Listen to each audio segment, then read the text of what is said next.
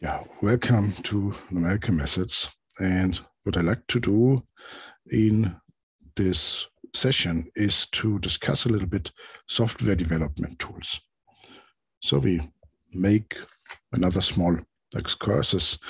Uh, and I believe this topic is quite helpful maybe to solve the project. As you know, in the project, you should work in a team together and I would like to point you to some nice tools yeah, that are especially useful if you work together in a group. But uh, you can also use these tools maybe in some other contexts.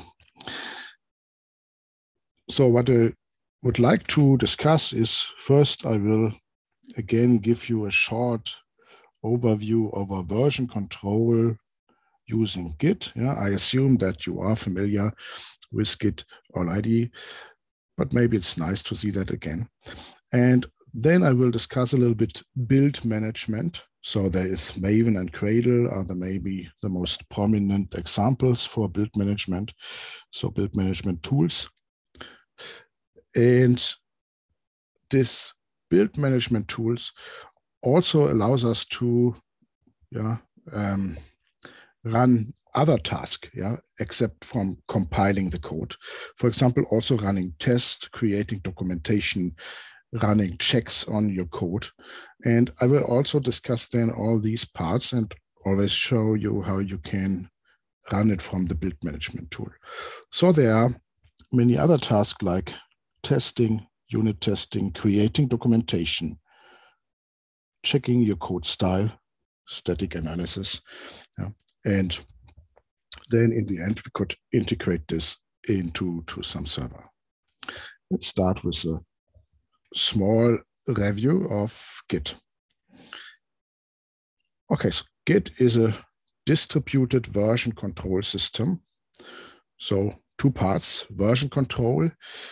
You can do a versioning of changes you did so that you can maybe roll back to a previous state yeah, of your code.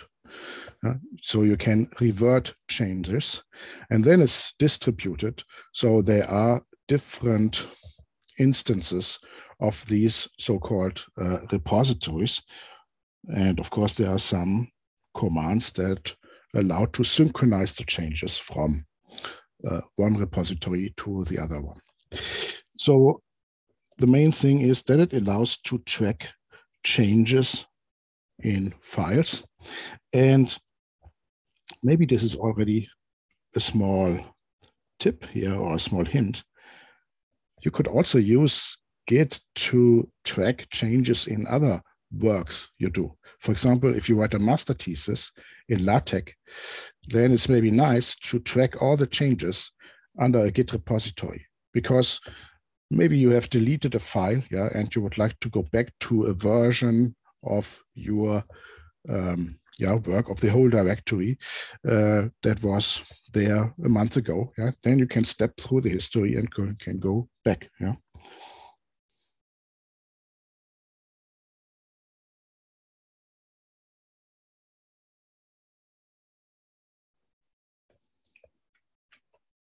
So each Git repository keeps a complete history of the changes to the files.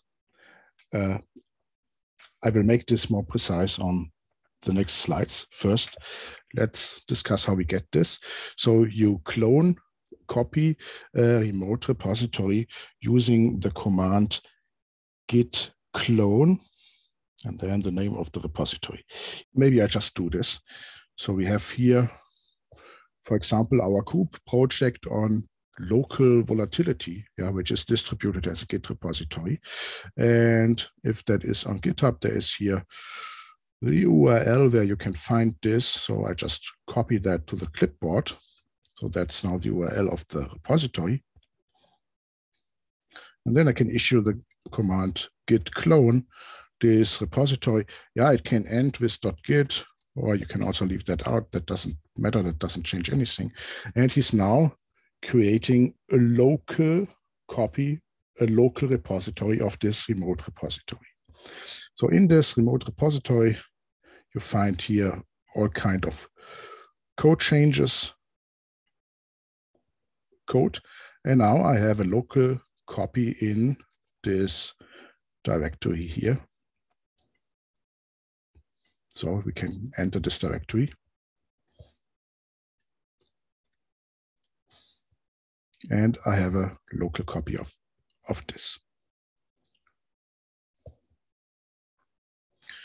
Okay, so if that was just creating clone, creating a local repository. If somebody is now making changes to the remote repository, I can synchronize the chain, these changes with my local repository using git pull. So if I issue git pull, I can pull changes from the remote repository into my local repository. Okay, for the local repository, actually the story is a little bit more complex. There is a working copy where you can change your files, and there is the local repository. And actually these two things are different. And you also see this here in the folder we now have locally on my computer. This is actually here my working copy where I can work. So I can maybe change, for example, this file. And here in this hidden folder .git is the local repository that stores the complete history of all changes. You can enter this hidden directory and you can maybe have a look at this. Okay, there is some database, some index, yeah, some some stuff. Okay, so that here is actually just our working copy. So now we can work on this. So maybe I draw this a little bit here. So there is the working copy.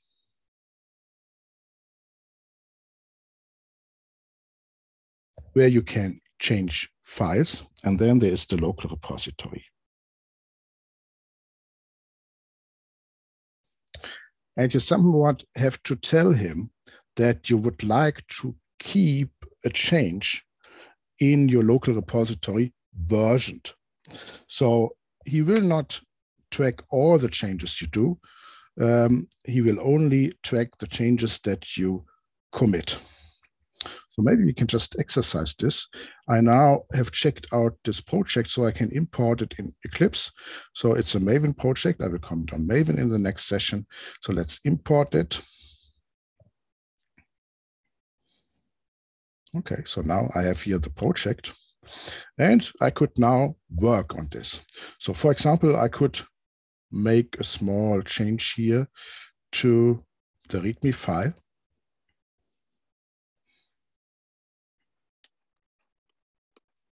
Okay, so maybe just a stupid test. Okay, and then yeah, you could you see he is showing us here there are untracked changes. So these changes are in my working copy, not yet tracked. Okay, I can just also remove this here again. Okay, he's still telling me there's an untracked change. If I click here, I see the change. The change is that I added an empty line. Okay, so he's still noticing that there's a change. But the line that I have just deleted is not in the lo local repository in the history. So that line is lost. Okay, so maybe I remove this empty line and you see there's no untracked change, but maybe I could fix this typo here. And then I would like to keep this change tracked. So keeping this change tracked now consists of two steps. I have to tell him that I would like to have this tracked, this versioned, and then I have to commit it to my local repository. So now we have two commands. Git add will add a file to the so-called staging area, and git commit will then move the file to the local repository, track the changes in the local repository. Okay, so that was the difference between the working copy and the local repository. So Git does not maintain a history of all changes to your working copy. Instead, you have to commit the changes you like to have tracked. So the command add is telling which changes would we like to now have committed to the local repository and commit is then committing this. You can do this very nicely here in Eclipse. So actually pressing this plus here will move the file here down to the staging area. This is equivalent to git add the file. And then I can enter here a commit message fix the typo and I can press commit and this will commit the change to my local repository. Maybe I don't do this here in Eclipse. It's much more convenient here, but I do it on the command line. So maybe I would like to do one other thing. I would like to maybe add a new file. Let's also add a new file by adding, say, a class, say a class called vector and maybe this is here our local volatility project. Maybe the class has nothing to do with the local volatility project, so I just call it demo. So now I have a new file, which is also a change, but that file is not under version control. So whether you change the file and you would like to add the change to your local repository, or whether you create a new file and you would like to have this file in the local repository, this is no difference. I have to add it. Yeah? So it also appears here, but now with the question mark there, and I have to add these guys here, and you can then commit commit this. Maybe I do this on the command line with the two commands. So you can issue git status, yeah? and you will see that, for example, the README file is uh, modified and that there is also here a new directory, yeah, which contains untracked files. Yeah? So now we do a git add the README file, and I go do a git, and then maybe this whole folder or just my vector. Oops. Yeah, I forgot the add.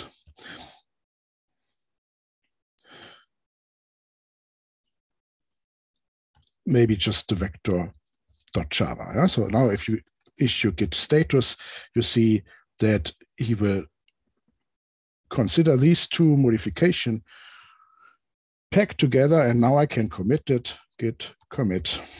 And I can add a small message, here, fix the typo and edit first version of class vector. Okay, so if you go back to Eclipse, you see that there are no more untracked changes. Now the changes in my are in my local repository, but you see there is a small indicator here that in my local repository there's new stuff, one new stuff, and in the remote repository that is missing you can look at the history of all the changes in, for example, your local repository, also nicely here in Eclipse. If you open show history, and then you see that this is here my last commit, fixed the typo and added first version of class vector. And you see that the files that were changed are these two. You can click here on the file and you can see the difference that was made to this file, okay? So you can step back and look what I did here before, yeah? So you see I made a few small changes here before to this little project.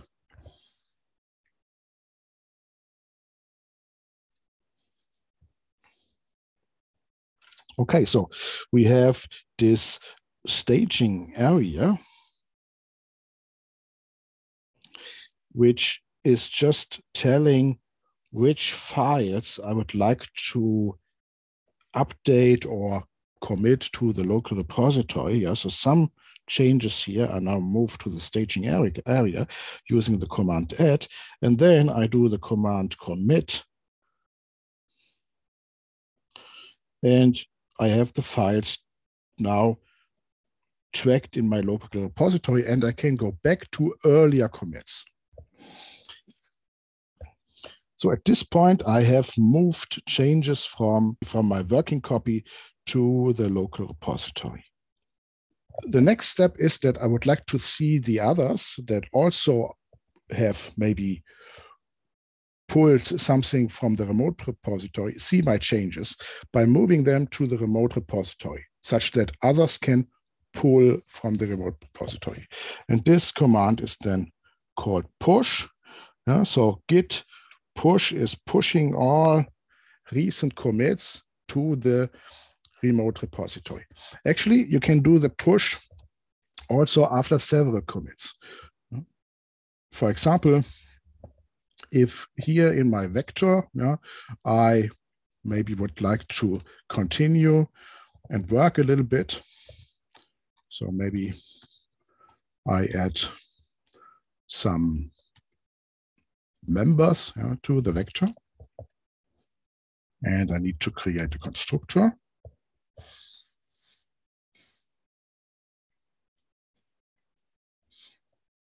Okay, so I have updated my vector. Then I can move here again to Git. I see there are changes. I add it to the staging area and I write a small commit message. Improved implementation of vector. And I can now commit this to my local repository. You see now there are two changes. If you look in the history, you see that there are two commits here because this here is the status of the remote repository.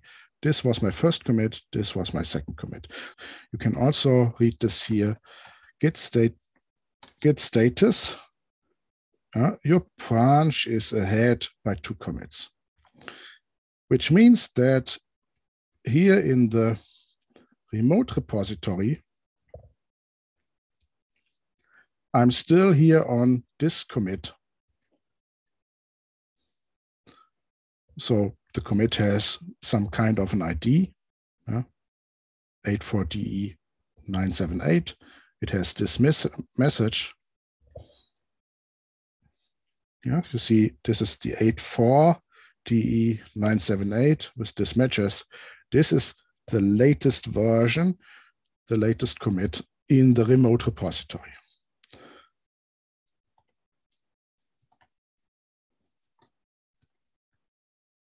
So let's push the stuff to the remote repository. Okay, so now he's pushing the stuff to the remote repository. I can have a look at the remote repository. And you see improved implementation of vector two minutes ago with the new ID has been added here.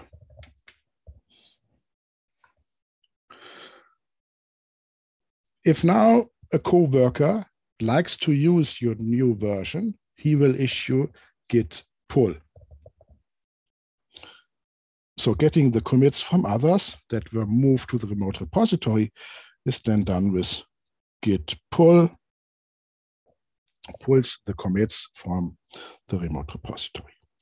So my picture is now like this, that we have here the remote repository.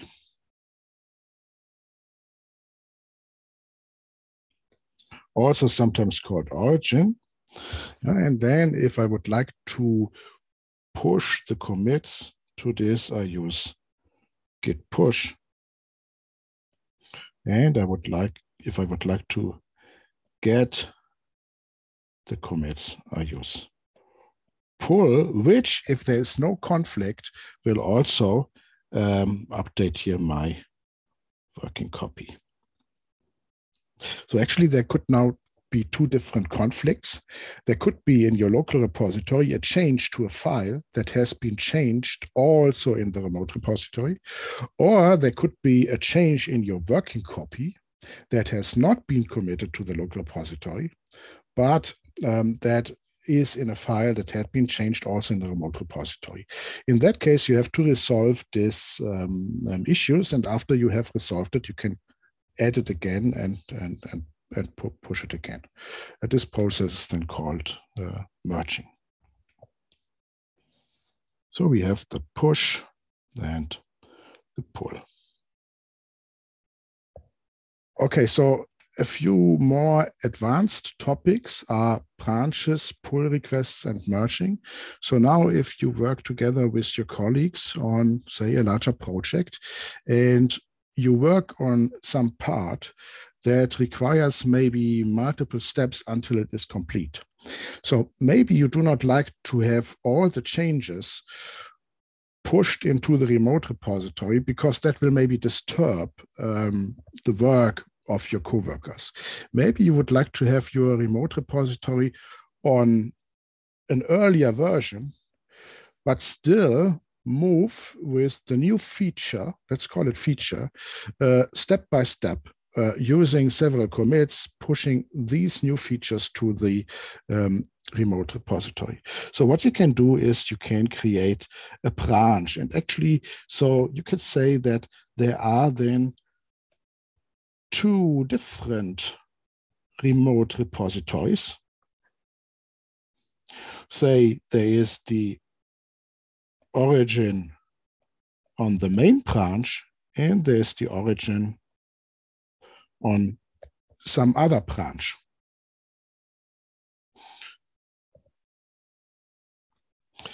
And there is a certain point when you were branching so this here contains the same commits as the main branch, but then you could say that your push to this branch. So there are changes here which are not in the main branch.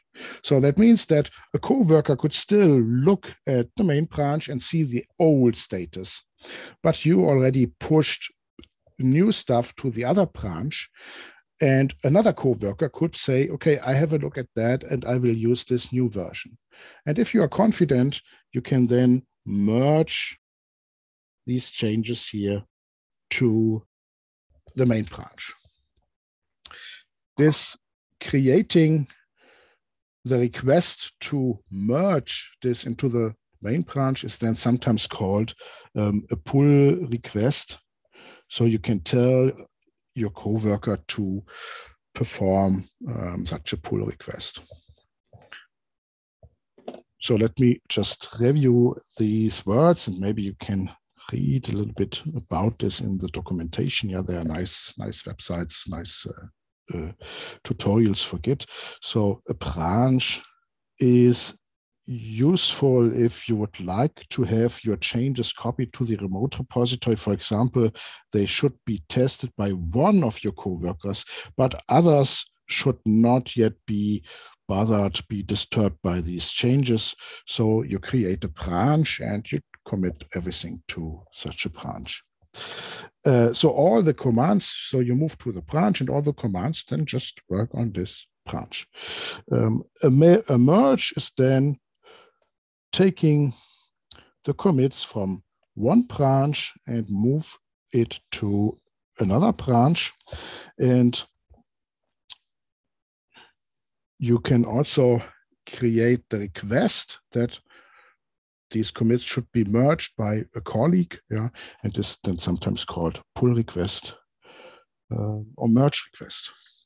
So if you like, we can maybe exercise this a little bit. So maybe I would like to create here yeah, some, some change, but now I would like to create it on a branch. So in Eclipse, this is maybe easy. I can create here switch to and say new branch. And for example, uh, there are some conventions on how to name these branches. For example, one convention is to name these branches as feature branches, feature, and then you describe what kind of feature it is. Yeah. So um, experimental vector implementation. So maybe that is now my branch. So now I move to this branch. Eclipse will also show you that you are now on this branch here in this bracket. Okay. And now all my Git commands are uh, on this branch. So maybe I create uh, a method. So a method that is double length. Yeah? So let's have a length of this vector.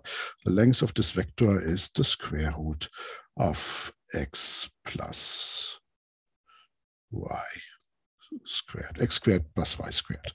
So this is my length. This is my experimental implementation of the vector. And now I would like to commit this. So I do all the steps now in Eclipse. Yeah. So I would like to commit here my change. This is my change. I can always look at my change.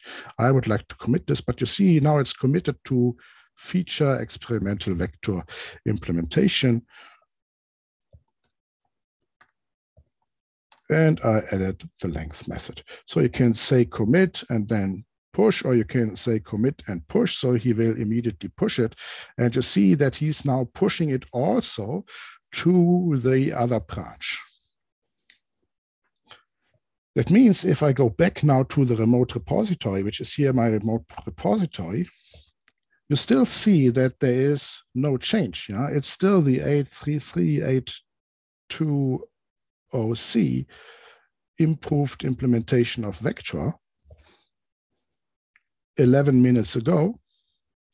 But you see there is here a branch has been added. So you can also switch here the branches on GitHub.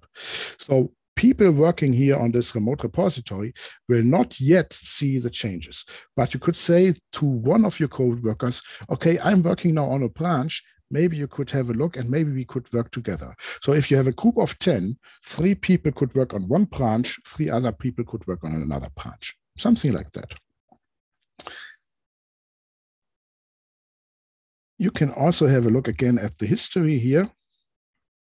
And you see that there is the main branch, which is in sync with the origin main. And there is my feature branch, Uh, which is in sync with the origin feature branch. So now if you have made multiple commits, so maybe I can make another commit to this. Okay, so maybe I added a little bit Java documentation.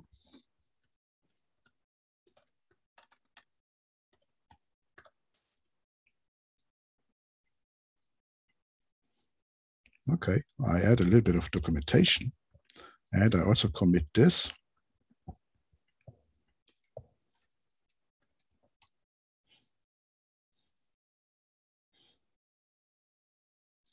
So you see that here in my history, the branch is moving up. In my remote repository, I'm still here in the main branch on the out cold, but now you can create this pull request. So you can either now merge this branch to the main branch in Eclipse. So maybe you can do, we can also have a look at this here. So if I would like to go back to the main branch, I say team switch to, and now I can select which branch. I go to main, and you see he's going to the version where this method is missing and I do not see the changes. So now I'm on the main branch. I can say now team merge. If I would like to have the changes from this experimental branch reflected in my main branch. Yeah? So he will move these changes into my main branch. You can do this here, or you can create in GitHub a so-called pull request. So compare and create pull request. So you see, it this will move all the changes from that branch to the main branch, and you can leave a small comment. Yeah. So we have worked on this improvement for a while and believe it can be merged to the main branch please have a look. And you create the pull request. Which means that your colleagues see now the commits you added. They can also look at the files that, that have been changed here. Uh, so it's very comfortable. And they can add a small conversation here. And then they can press the merge button. You see that here is that we have all checks failed here. This is our unit testing. I will comment on the unit testing later. So maybe I just merge this. I confirm the merge. And now GitHub is performing the merge, not here. Yeah? So locally, I have two branches, main in the old state, feature branch in the updated state. Remote, the main has been updated. So if I go back to the repository, you will now see that there is an additional commit, merge pull request from this branch. And the implementation, if you dig down here, now reflects the new method. Which means that in order to see this here on my main branch, I have to do a pull. So I do git pull. Hmm, I can do that here. I could also do it in the console. So maybe I also illustrate this. If you um, say git status, he says your branch is up to date with origin main. But this is not true. The reason is he doesn't know that in the remote repository there was a change.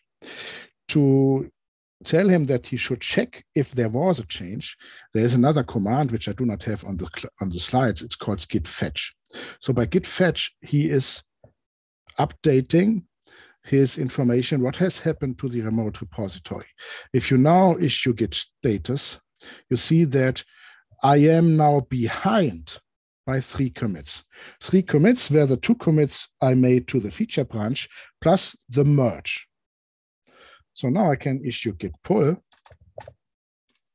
and he is updating my vector implementation and this should be reflected here. Yeah. So now if you reopen the vector, you see there is the change and I also have the two additional commits here. Okay, so now if you look at the history, so you see that the history becomes a little bit more complex. Yeah, so you see there is this branching between the main and the feature, and there is this merging. Yeah, so it's de depicted here. That was maybe a nice little tour on working with Git, and you can maybe exercise this working working as a group. So we have a few examples of repositories. Yeah, we have our mathematical finance library, uh, which you can find there. We have our um, small experiments. Some are here and some are in the lecture repository. And maybe you can exercise these steps. Yeah? Code session practice some of these steps we already did. So now I would like to talk about build management all the projects we have here in this lecture are Maven projects. So Maven is a build management tool. So what's that? So software is usually written in source code, for example, Java files. Yeah? But the computer is not directly interpreting these source code files. In case of Java, he is uh, running the class files. So the Java files are compiled to bytecode, so-called bytecode, the class files. In other languages, maybe there are other compile processes. So, and this compile step is one part of the build process. Yeah? So compiling is maybe the central part of the build process. It converts your human readable written code into code that can be run and understood by the machine. But there are other parts that are also part of the build process, for example, generating documentation or running automated tests. And a build management tool is helping to keep these steps organized. Two nice examples are Maven, which we use here, and Gradle. So Maven is a build management tool and it configures your project in a so-called pom.xml file. So the pom.xml is the project um, object model. And in this file, you'll specify many different things related to your project. One important part is that we maintain the dependencies. So if your project is using some library, I can specify that my project needs this library and Maven will take care of the fact that he, we need this library. So he will even download the library from the internet, download the right version, put the library in the right place so that when I um, run a test or whatever, then this library can be used. And he is also maintaining the configuration of so-called plugins. These plugins control all these different build steps. So the build steps like uh, compile, test, create the documentation. I have a look at these steps um, later because we will also discuss testing and documentation. So first part is dependencies. If your project uses code from some other party, a library. For example, Apache Common Math is a mathematical library, which I sometimes use. Or if you work on your project, you can use the finmath library. So the one where we have developed our Monte Carlo simulation framework, you may use that. Um, or if I like to use Apache Common Math, or there is Apache Common Lang, or there is uh, uh, yeah, many other libraries, then I specify that I have this dependency. Maybe I can have a look and for example, here the file related to our group project has the pom.xml file. And first it states a little bit the name of our project. Yeah? So this is some kind of artifact ID or a human readable name. And then you find here some of the dependencies. For example, this project uses or is now allowed to use uh, the Apache Common Math 3 library in this version. So once you specify this dependency here, he will automatically download the stuff uh, from the internet and put it in the right place. Sometimes you see here placeholder. Yeah, so the version, for example, for this library, this is then just a property which I specify here because sometimes you like to update the versions at a single a single spot. Okay, so you have some dependencies. If you have checked out this library, for example, we have here our finmath-lib. You can also have a look at this POM file, okay? This guy file is maybe a bit more lengthy, but you can also have a look at this files, uh, this project dependencies. So there is a dependency on something that has a dependency, and he will make sure that all these parts are just downloaded and available.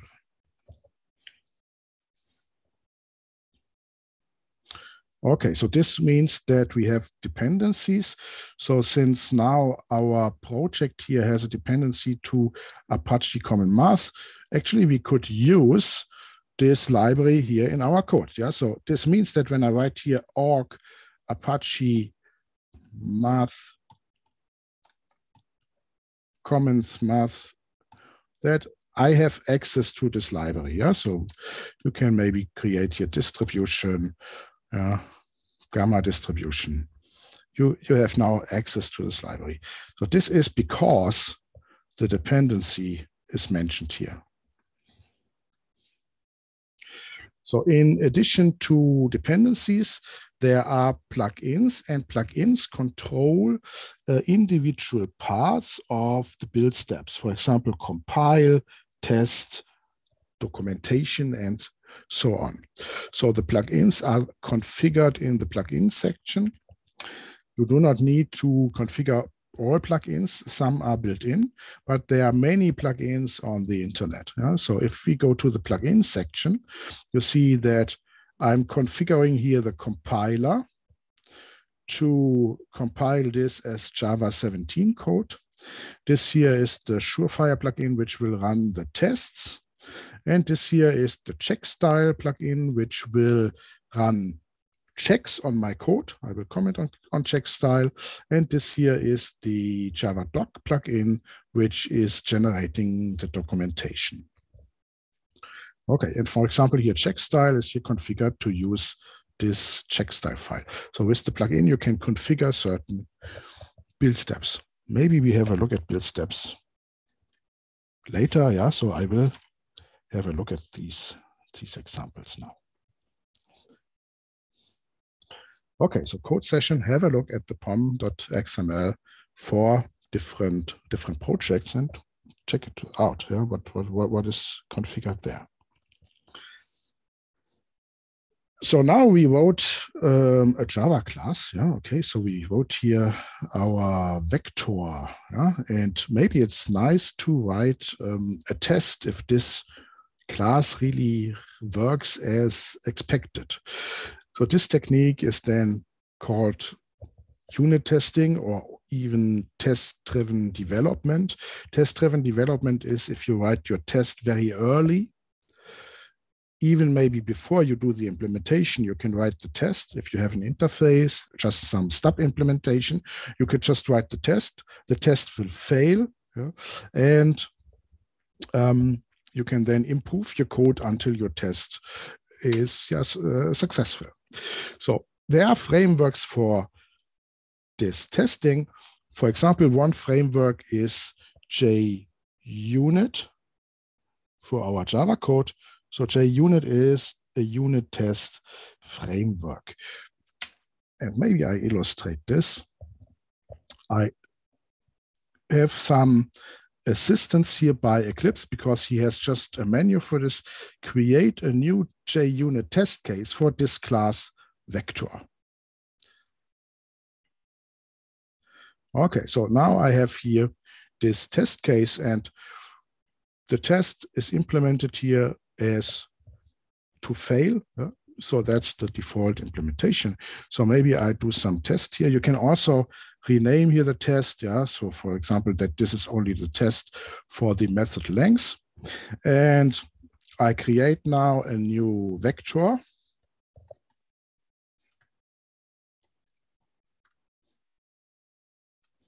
So maybe a vector three, four. And the length of this vector is 9 plus 16, 25 square root is 5. So it means that the test should be successful if the length of this vector is 5. Maybe there can be some tolerance. Yeah, you can work with tolerance. Let's maybe test this. And for these things, there are the so-called assertions. So assertions are now conditions you can formulate that have to be true. So for example, I do assertions, assert equals, and then the first argument is what is expected. So expected and actual, you see. Uh, so what is expected is a five, and the actual value is vector dot length. Okay, so let's let's check if this test is true. So I can run now this unit test also here in Eclipse. Run as JUnit test, and the test will be successful. But maybe we are now cool programmers and we run this with Maven. Yeah? So you can just run Maven test, and he will run all your unit tests.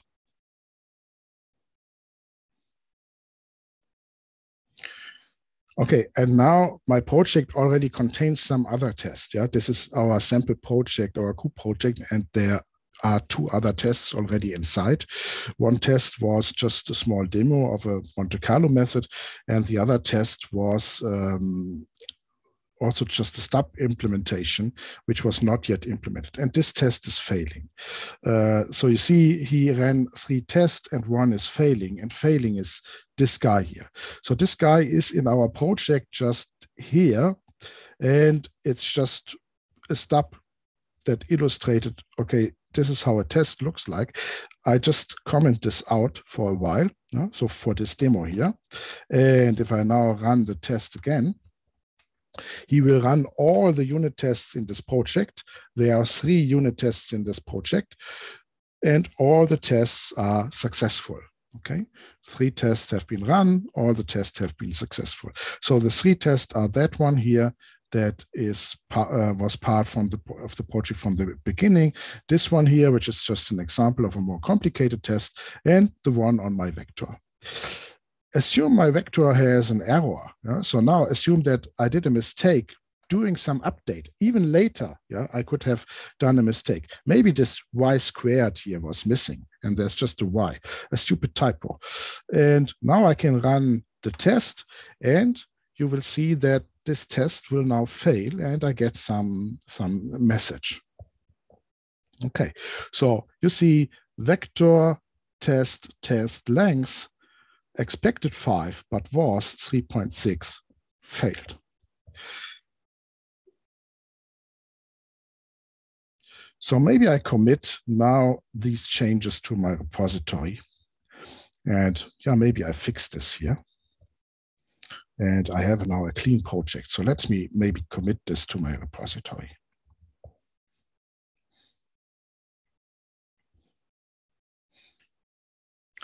So we added a unit test. Then in my remote repository, I have created a configuration that whenever I commit something to the remote repository, a test is run yeah, all the unit tests are run. So you find this here under actions. So these are the so-called GitHub actions. And you see that here are all the recent commits. All these commits have uh, a red cross. So all these have failing tests. But now I have fixed my project, all the tests are now should now be successful. So there should be now a green check mark popping up here. Okay. So this is called continuous integration. So there is a server that whenever you make a change to the remote repository, whenever you integrate new features, he is continuously checking this project. Also very nice to use this when you work together. Your project is already configured in a way that he runs these tests.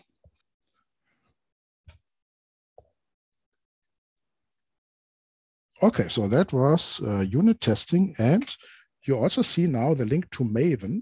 I can run all unit tests with a single command.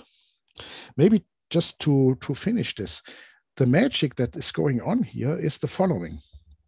Maven test knows how to start the JUnit framework. So this Surefire plugin knows how to how to start the JUnit framework. And the JUnit framework will now do the following. He will look at all methods that have this annotation on top. And then he will instantiate an object of this class. The class has to have a constructor that takes no argument and call this method on this class. So this is all fully automatic just by specifying this little word here. Okay, so by specifying this little word, you say, this is a test that should be run if I issue this command here. So this makes life really easy. Yeah, you can add a new test by just adding this word. And this test is also run remotely here by just having this word on top. Okay, that's the JUnit framework. Now, another part of the build step is writing documentation. And there's JavaDoc, which is a standard yeah, of writing documentation. And the documentation, you could also say, I create a separate LaTeX file or a separate Word document or whatever, yeah, open office uh, document. Um, that has a disadvantage. If you create your doc documentation in a different location, the programmer will make changes to the code and he is maybe too lazy or he forgets about um, updating the documentation. So it is a big advantage to have the documentation very close to the code. Actually, as close as possible. And for that, we have here the JavaDoc. So we write our documentation in a certain standard in comments. And the comment, the JavaDoc comment starts with a slash star star. I already did this to my vector class. So I have here the JavaDoc comment. And you see the JavaDoc has certain yeah, keywords that start with the at that will tell me something about a special property. For example, that this guy here yeah, returns um, a value, it's not void, and then I can describe what it returns. In Eclipse, JavaDoc is nice because if you do a slash star star and then press enter, he will somehow populate already the JavaDoc, and you can write um, some documentation. Uh, sometimes the JavaDocs are well not very helpful, yeah, because they are just trivial repetitions of what this is done. Yeah, so that's maybe not what you should do, but you could describe a little bit more um, in this part here, yeah, where you can document um, the constructor or where you can document the class. So this here creates a 2D vector and you can also have a JavaDoc here, which documents the whole class. And you can also specify who is the author. Uh, if you have multiple authors, you can add another author. Uh, and uh, then you, you see which of your co-workers did which part. Yeah? So this here is a simple implementation of a 2D vector. Yeah? And you can describe a little bit the class. Um, yeah, I can now generate the JavaDoc. The JavaDoc is actually an HTML page. And there is a Maven build process part, build step that generates this documentation. So I can issue Maven JavaDoc, Java doc, and he will now generate this HTML documentation.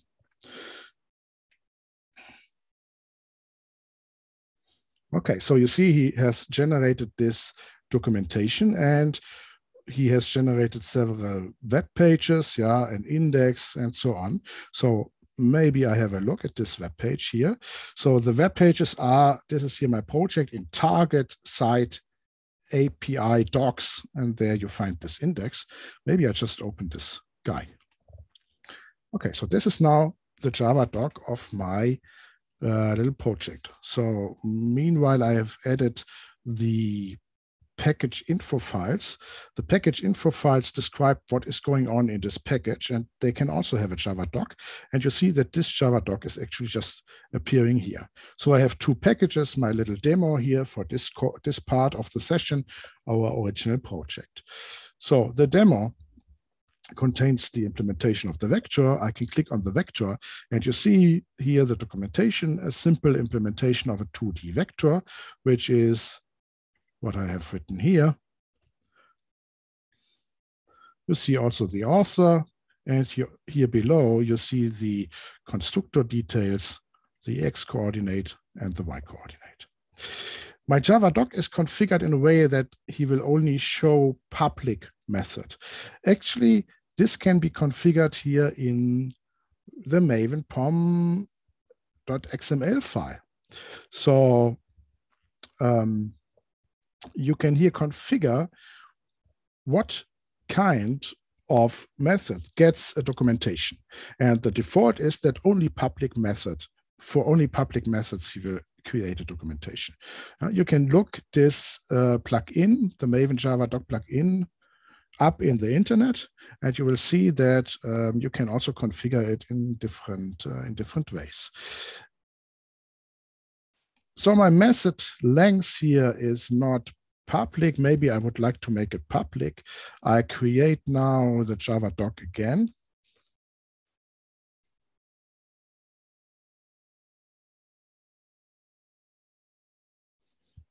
And if you move to the web page, you see that here below, I also now have method details and there is my documentation of the length method. Yeah, there's the length method. Okay, so we can so we can run JavaDoc nicely using the Maven command, and the result is put into this directory here. A very nice thing is that I can also include LaTeX in the JavaDoc. Um, as you maybe know, there is a JavaScript library, MathJax, which allows me to use LaTeX. And I can now configure um, the JavaDoc plugin of Maven that he should include the JavaScript library that allows to use LaTeX in the generated HTML. So this is already done in this project. So if you work on this project here, it's already done. But you see this here is the header of the HTML page, and I'm including here the MathJax JavaScript. So all my JavaDoc has now this library. I can use in the HTML the LaTeX code according to this little JavaScript library. Let's try this, and this is nice. Okay, so I can use here LaTeX, returns the length, and now I can specify how the length is calculated. So it is backspace opening bracket to start the LaTeX code and backspace closing bracket to end the LaTeX code. So here I can write now LaTeX square root of x to the power of 2 plus y to the power of 2. Yeah? So this is my LaTeX code. And I can generate again the JavaDoc for this project. Hmm? It generates it for the whole project.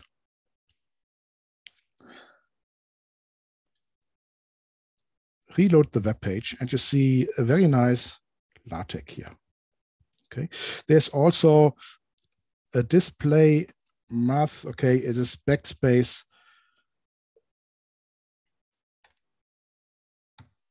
The rectangular bracket, which will create a separate display style formula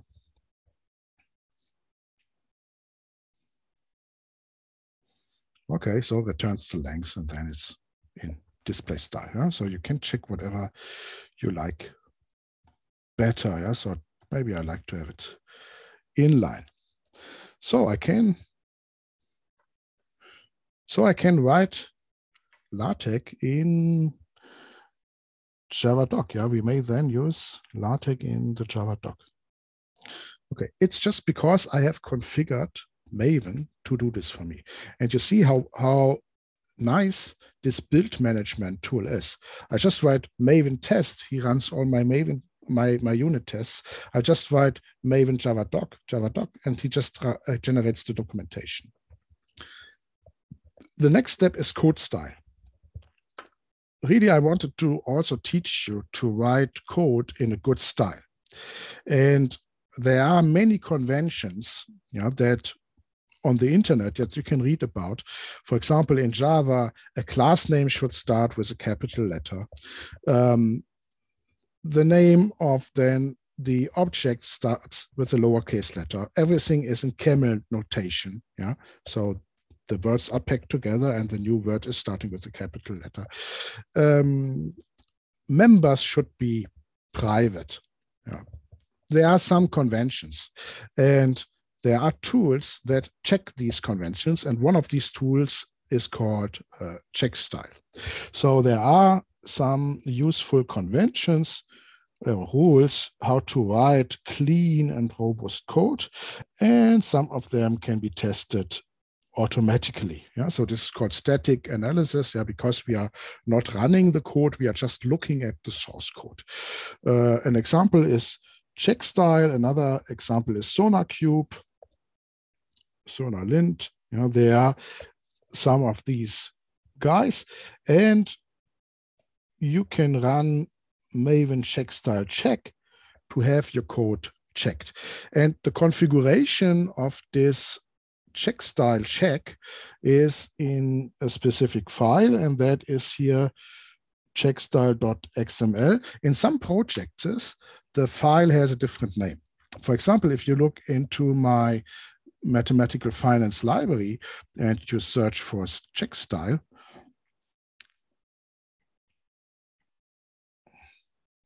you see that I have configured the Maven checkstyle plugin to take the definition from the file finmathcheckstyle.xml.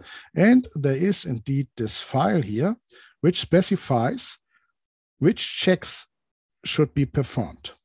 Some checks are mild, some other checks are a bit annoying, and you can disable these checks. Yeah? For example, here's a check that a method should have not more than 15 parameters. If it has 15 parameters, that's maybe too much, and there should be some error or some warning.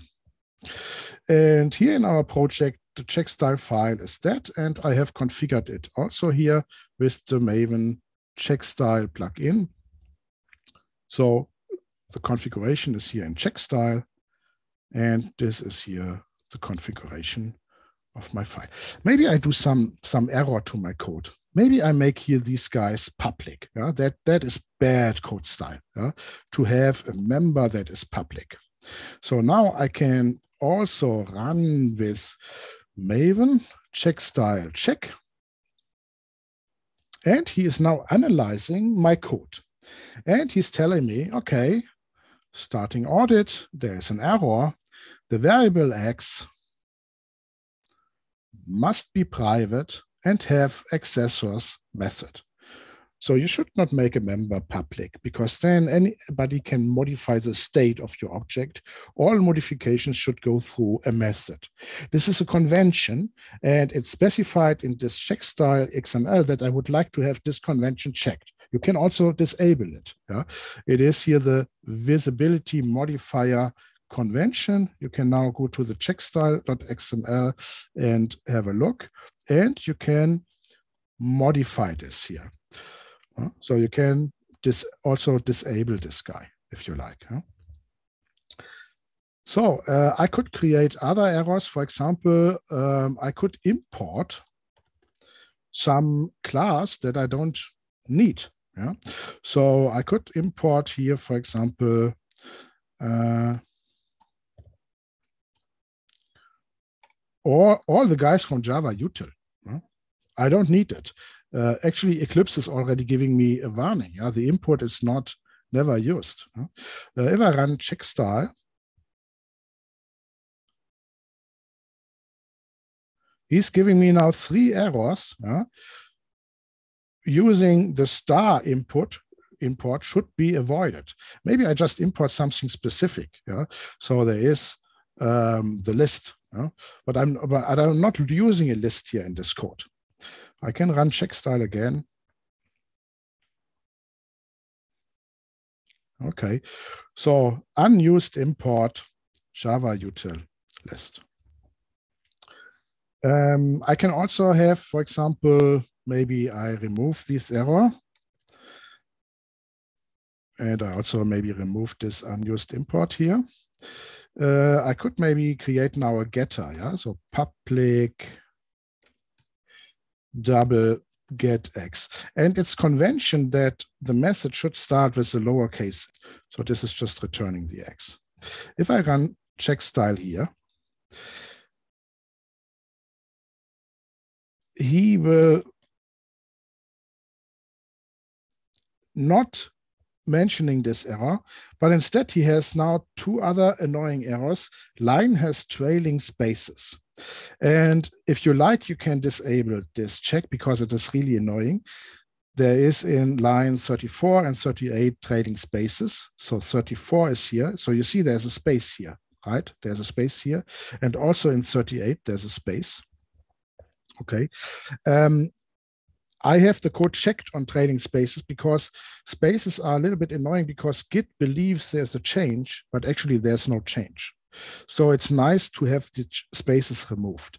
If you would like to have the spaces removed automatically, you can also take Eclipse clean up and have the project being cleaned up and he will organize the imports and he will also remove these spaces. Yeah? So have if you have now Eclipse clean up, you see the space is gone. And if I run now Checkstyle, the two errors are gone. But you can disable this check if it is too annoying.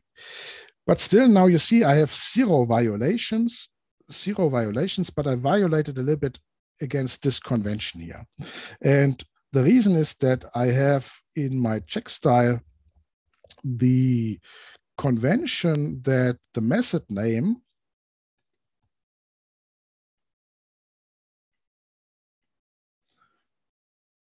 should be checked, I have it disabled.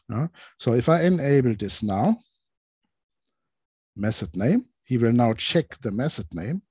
I can run Checkstyle. And you see he's now complaining the method name getX does not match this pattern that it should start with a lowercase letter. So in Java, method name starts with a lowercase letter. And if you have this fixed and checked, you see now the code runs. And this is also nice. You can have this Checkstyle also run uh, automatically on the remote repository. And there are even so-called commit hooks that disallow that somebody is committing something to the repository that is not complying here with this check. So it can really make the code uh, clean.